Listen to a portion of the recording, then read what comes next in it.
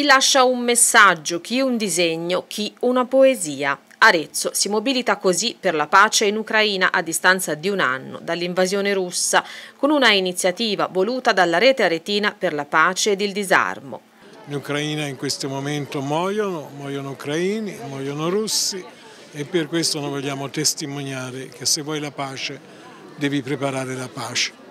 Si chiede il cessate il fuoco con atti concreti di diplomazia che fino ad oggi non è riuscita a fermare le bombe.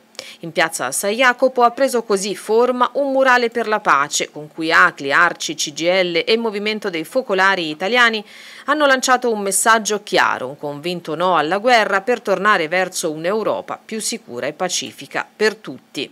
Noi siamo contro l'invio delle armi in Ucraina, ma soprattutto noi ci rifacciamo anche come ACLI al pensiero di Papa Francesco, che è l'unico leader mondiale che sta lavorando davvero per la pace.